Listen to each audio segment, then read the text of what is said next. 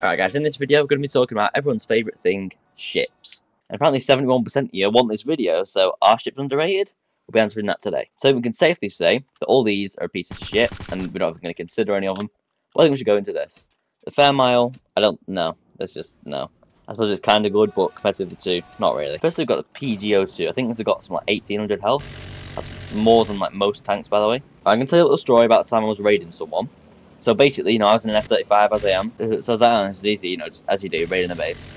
And then he pulls out a PG02 and I'm thinking, oh, that's not really that good. Be alright. Yeah, but it actually, it actually shreds. And it takes so much to kill it. You have to hit it with all your missiles, you drop your bombs on it and probably miss. And by then it's still only going half health and you'll probably be nearly dead. So I think the PG02 is a real threat to planes, really. But then again, the PG02 isn't overly good, because think about anything else, basically. I'd say a tank, if a tank was there, I wouldn't do that much damage to it. It's basically just a C-ram on water. If, as you can see, I can just hide behind a building, make sure I can't be seen, and then I'm fine, really. So I do think this vehicle is the best if you're being raided. So if you ever get raided, use a PG0-2. So if you think about it, helis are going to get killed, planes are going to get killed, tanks are probably going to get killed pretty quick. No one expects a boat. No one ever expects a boat. Alright, the other ship, USS Douglas. So this is a 75mm cannon, which is the same as a Sherman. So it's basically a Sherman auto cannon, if you want to put it that way. And it's great at anti-air if you hit shots. There you go, can two hit a little bird. I remember when it first got added, two hits from this could actually kill a plane, and they made it like half powerful to four. You see that there? I hit it about three times and it's nearly dead. So the wire guided, they're also really useful. Maybe that's really good you're hitting like tanks and stuff that's on the other side. And also really good against planes as well. So Douglas, it's, it's amazing. It's got this amazing auto cannon there. It's got two wire guided missiles, great anti-air, great anti-tank. So the big question is, why don't people use it? I think it's pretty simple, really.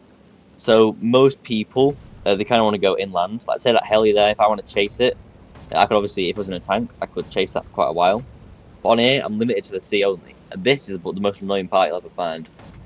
I've got to sit here and do this to get past the bridge. But look how much of a pain this is. I've used up that entire auto cannon, and it's not broken yet. And this is the most powerful one, by the way. The PG02 and Fairmile just way more annoying than that. So what could War Tycoon do to make ships better? We've got a number of ideas. So one of them is obviously get a new map where there's a lot more ocean, there's a lot more use for the boats, and obviously the bridges are higher. Add boat repair yards. As you see, I'm on 58% right now, and I don't have to go back to my base and get another. Then another one, I think aircraft carrier, but obviously that's going to be really hard to do, so I'll have to do a lot of thinking in that. You know, it'll take ages to do, but they would be cool. Submarines would also be cool. And generally just a lot more boats, and then obviously boat parts as well. So to answer the final question, I'd say yes, they are underrated. I think all they need to do, make a new map, which I think they are doing, by the way. I think in about September time, they're going to be releasing a new map. I'm not 100% on that, that's just a guess. But if they do, they'll have a lot higher bridges, and ships will just be able to roam a bit more. There we go. Got a wire guided. To make it even better, if you have friends, you do get to use the machine guns here, or just get off and do it yourself. Just like this.